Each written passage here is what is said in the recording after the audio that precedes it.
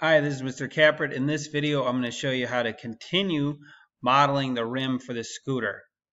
So you're going to want to do sketch, choose the XY plane, and then select 2D sketch. Boom. Now you're going to be actually sketching inside of the rim. So you want to go under View, Visual Style, and you want to do wireframe. I'm going to rotate this so I'm looking at it this way, not completely necessary. Um, and then under the sketch tab, you're going to create a line that roughly goes from here to here. Not super important, just see how I, I went from there to there. You don't have to have the exact dimensions on this. You're then going to use your arc tool and choose one end of the line and then choose the other end of the line and then go upwards and enter 15. Now once again this doesn't have to be perfect. You're then going to finish this sketch. You're going to use the revolve tool once again. So revolve. Notice it automatically selected that profile for us.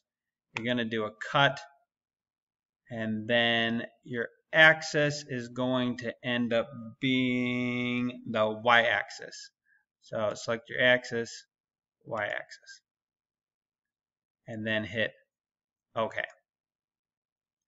You can then go back and view and visual style and change it back to shaded. So notice how I put this slight little groove in there.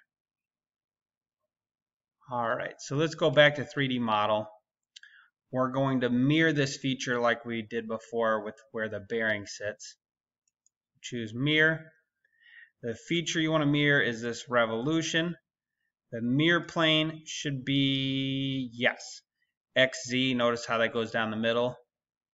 And then when you hit OK, it should put that same feature, yay, on the other side. Very cool. And then the last thing I want you to do here is right click on the part and then go to iProperties.